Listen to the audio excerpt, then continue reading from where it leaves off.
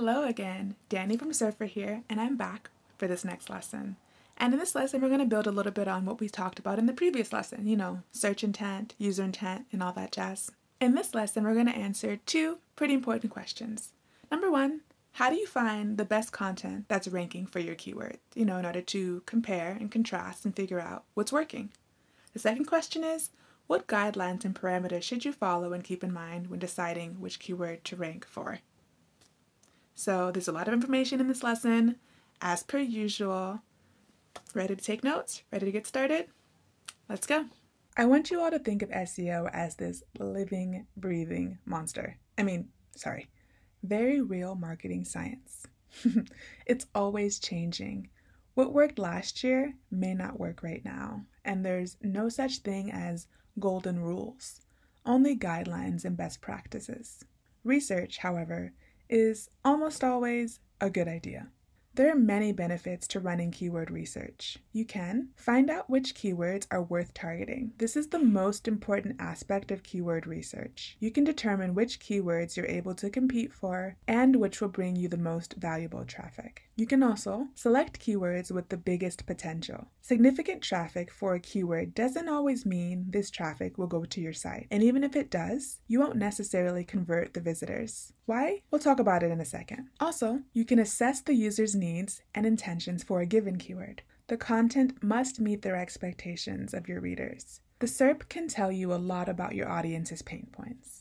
You can also find out the preferred form of content for a query. Is it a blog post, a product page, or maybe it's a video? You can prepare an outline of a text and or segment the topic. Google shows us sections like people also ask or searches related to, and we can answer these questions in our text to satisfy our readers. Also, you can estimate the range of information for one article. Are people looking for ultimate guides or are they just after short, sweet definitions? Lastly, you can find out which stage of awareness your prospect is at. I'll give you more information on that very soon. People ask different questions at different stages. Check out what kind of information Google is offering the searchers, and you'll be able to guess which stage of awareness your article should cover. For example, if most articles are product comparisons and listicles, you know that this keyword will be useful for prospects in the product awareness stage. As you can see, keyword research is essential both from an SEO and content quality perspective, and as SEO writers, we want to combine them both. Now that we know what keyword research is and why we should care, let's move on to the most crucial part of keyword research keyword evaluation. Keyword evaluation is exactly like it sounds, determining whether or not a given keyword is right for us. So, you have a few neat ideas. You've taken them from the SERP, gathered ideas from your coworkers, scanned social media, and or maybe ran a poll among your customers. But not all of them will help you achieve your goal, which is increased organic traffic and a higher conversion rate. You need to consider four things search volume, search intent, difficulty, and relevance.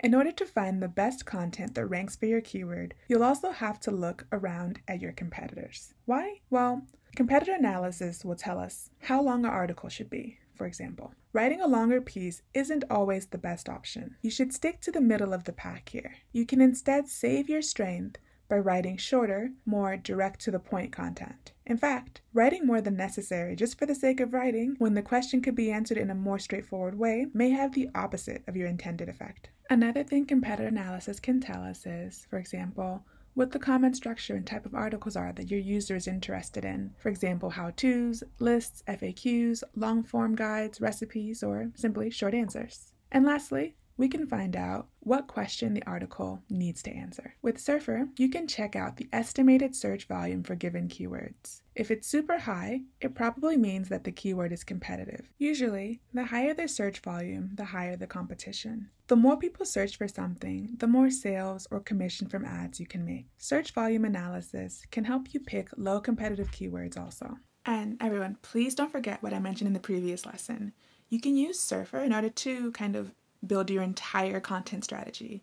We have these amazing filter options that you can use. And you can also check volume and search intent. To speed up the process, let me introduce you to the Content Planner tool. You choose the Content Planner tool in your Surfer account and you create a query for your main or seed keyword. Next, you pick your location or market. Then, you wait while Surfer crunches the data. Our algorithms are based on machine learning, BERT, and clustering logic, so you can be sure that the results will be optimal. When the query is ready, just click it, and voila, you'll see a bunch of tiles. These are the ideas for your next article, and all the keywords they should include. What's super cool is that you can filter the supporting pages based on the search intent they should respond to, and by their difficulty. If you connect Google Search Console to your Surfer account, you'll be able to see relative keyword difficulty, which is calculated based on your domain strength. This is how you can automate your keyword research process. Next, when you want to establish some parameters for your post or your article, you should pay attention to length. For example, you can even copy the articles to a file and draw the average number of words. You should also pay attention to paragraph length, the number of paragraphs, the number of headings, and what keywords they contain, additional media like pictures or videos, etc. And lastly, overall website quality, whether or not the article is easy to read and navigate. Okay, I don't know about you, but I'm feeling just slightly overwhelmed, so let's just take a communal deep breath together. You ready? Three, two, one. In, out. Now, where was I? Let's talk about our content editor. So, this, my friends, is Surfer's tool to help you establish these benchmarks and ensure you leave no stone unturned. You're only human, you know? Content Editor helps you prepare guidelines for your content, and it has a very specific and practical metric to help you choose your competition. See the circle? This is the content score number of each search engine result. To make sure you're only using high quality articles as inspiration, choose articles with the highest score possible. Using Surfer's content editor, you'll be able to check recommended guidelines on word and paragraph count, receive suggested number for images and headers to include, consult the list of terms to use and NLP safe keywords to include, and how many times. Don't worry, I'll talk more about NLP in the following lesson. You'll also be able to cross reference with competitors ranking for the same keyword. And lastly, you've got an on screen metric showing you how well you're doing or not doing in real time. That's pretty freaking cool, right? At least, I think so. So, we're going to stop this lesson here, okay? In the next lesson, we're going to build some outlines. But until then, happy surfing.